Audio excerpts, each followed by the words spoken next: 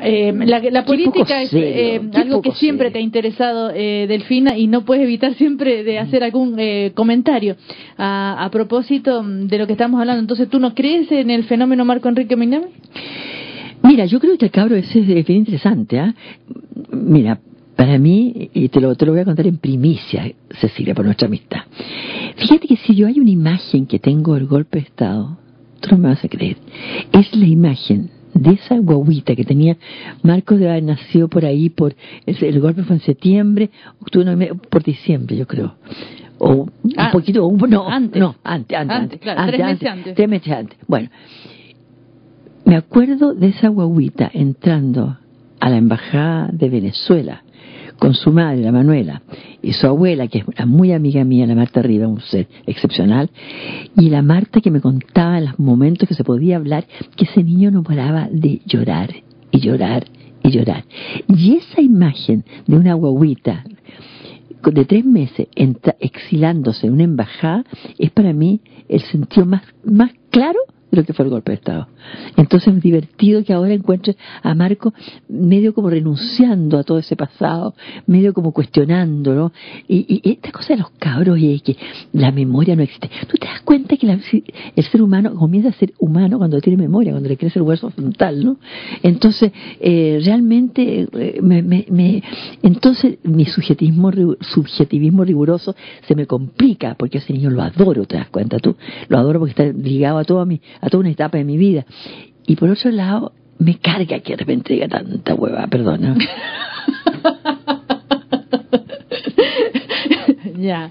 Entonces estás ahí. Eh, sí, estoy muy complicada. Complicada, sí, ¿eh? complicada. Sí, además que yo soy una, una, no soy militante en este momento, milité durante muchos años.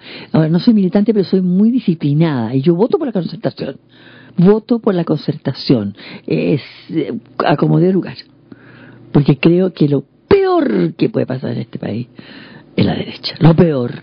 Y, yo, yo se lo dije a Sebastián, a quien quiero mucho. Eso te iba a decir, ¿tú eres muy amiga de Sebastián Piñera? Yo soy amiga, no, tanto como muy amiga, somos medio parientes y, y además le tengo mucho, mucho, mucha simpatía porque él ha sido muy cariñoso conmigo. Te, digo que, y en él es hasta gracia porque no es cariñoso precisamente. Eh, lo, lo estimo, lo estimo mucho. Pero yo como le digo, yo le yo pienso, ¿qué este afán tan espantoso de ser presidente? ¿Para qué? ¿Para qué? No, eh, bueno, y además yo le dije a Sebastián, me dijo, tú debías entrar a, Renovación Nacional. Mira, le dije, mientras tú estés mezclado con la UDI, mijito, es decir, primero me cortan tres veces el pescuezo, no una. Ya, pero ¿tú crees que la derecha está más cerca que nunca, como dicen ellos, de eh, llegar al poder? No, yo creo que no va a llegar al poder. No, yo no creo que, van a perder la elección. ¿Sabes tú por qué? Porque si, si existe, como te digo yo, el ser humano con memoria, así como yo tengo mi imagen de una huevita exilada a los tres meses en una embajada, todo el mundo tiene imágenes.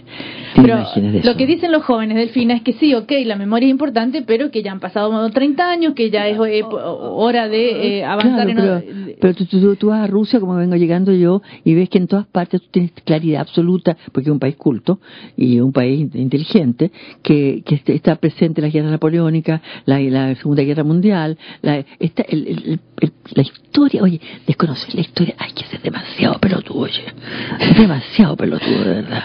Eh, y por último, terminar de comentar la política, porque llegó comentándolo ella sola, este lo del senador Flores. No se puede ser tan pesado, tú sabes. Con, con, con ese, no se puede ser tan cargante. Porque fíjate que a mí los pesados me gustan, ¿ah? Me gustan en general. Encuentro divertida esa persona que te dice la, cargantería porque sí, porque no. Pero este no tiene otro matiz que ese. Es, es de una. Eh, eh, ¿Cómo te eh, eh, plano, plano, plano. Cargantería, más cargantería, más cargantería en posiciones, en actitudes, en comentarios, en, en la manera de hablar. Esa prepotencia. ¿De a dónde, dime tú? ¿De a dónde este vendedor de pomás, por favor? Porque todo lo tiene solucionado en dos minutos. ¿Qué tipo más leso, por Dios santo? ¿Qué leso? bien molesta con... Sí, lo encuentro farsantón, cargantísimo, cargantísimo. Eh, nunca, no, yo sé que sí, pero tú nunca los has aceptado. Te han ofrecido, ¿no es cierto? Este, esto de las eh, candidaturas políticas, diputada y esas cosas. No, no, no. O sea, una vez alguien me llamó para, para algo de, no, concejala. No, mijito, que me van a llamar a mí para senadora, para diputada, tenés que estar enfermo. Ese ahí sí que creo que ese país, este país ya se habría no, ido. Pero... No, no, no. Me, me, me piden apoyo y yo, y yo cuando se trata de gente que yo estimo y, y que creo que vale la pena, trabajo y trabajo mucho. Por la Michelle, ¿para qué te digo? Por el lago, ¿para qué te digo?